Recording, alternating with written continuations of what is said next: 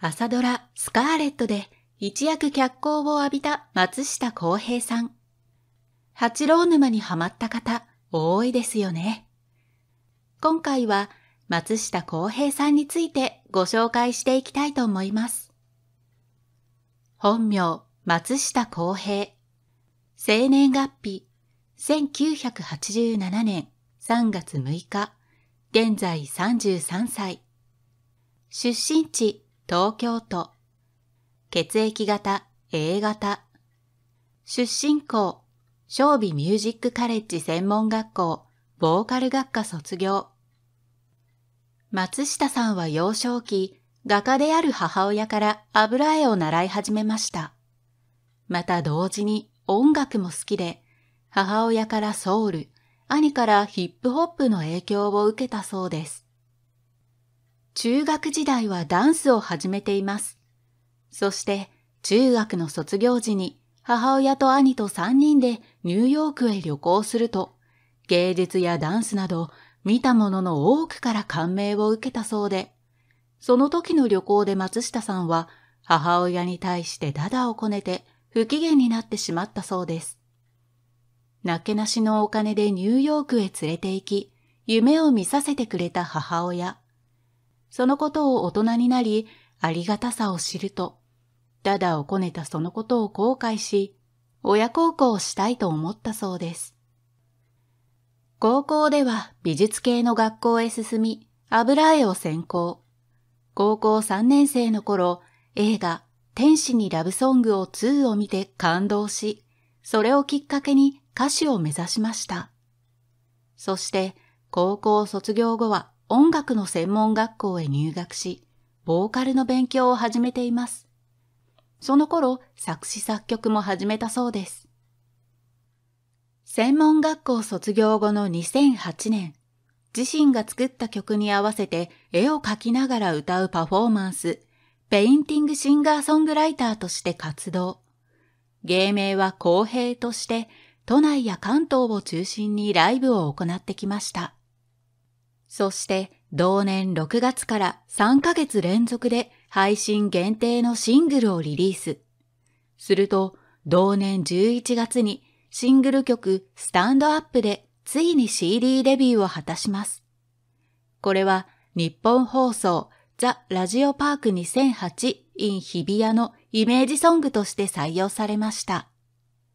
また、2009年になると BS 富士の子供番組 B ポンキッキのエンディングに出演。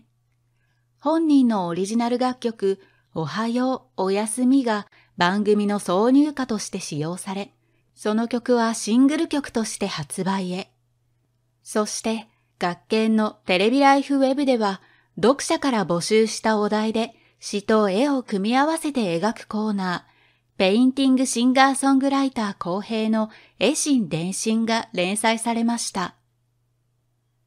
デビューして1年ほど経った頃、ミュージカルのオーディションを受け、ブロードウェイミュージカル、グローリーデイズで初舞台に挑戦。すると、この舞台がきっかけで、どうしても芝居を続けたいという思いが強くなったそうです。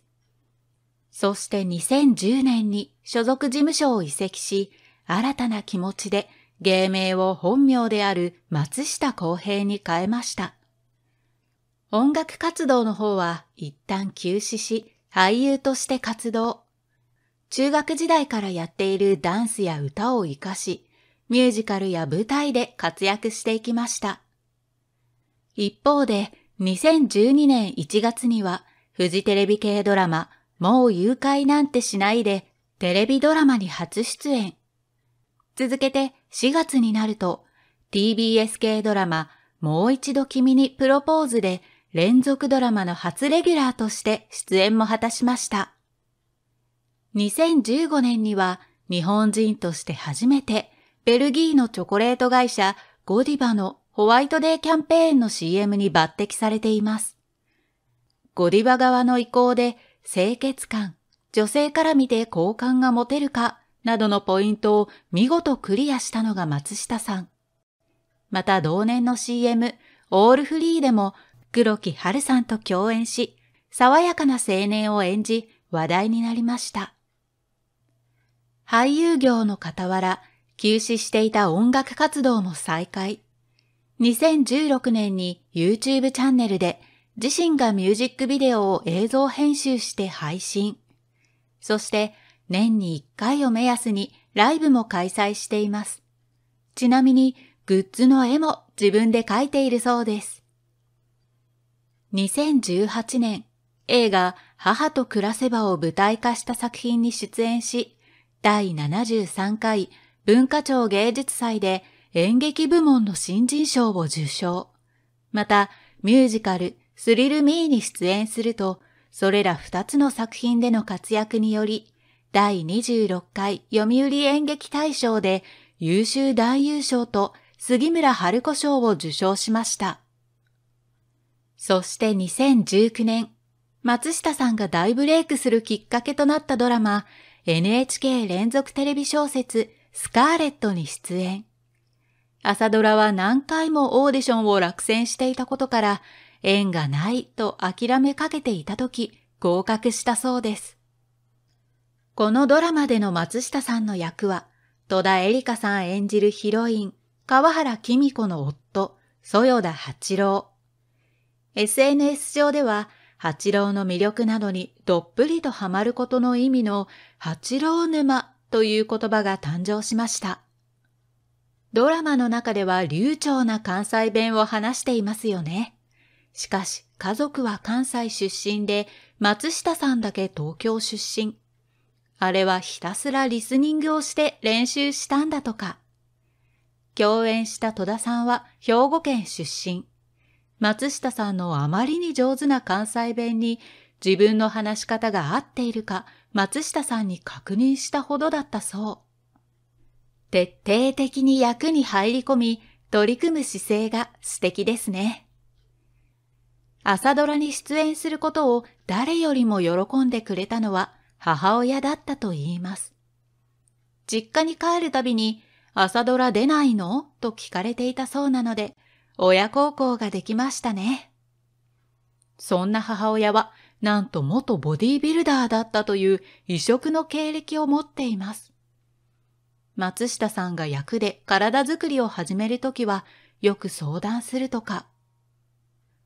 陶芸をするシーンでは、八郎の細くて繊細な指が映し出され、SNS 上では手を褒められることも多かったそうです。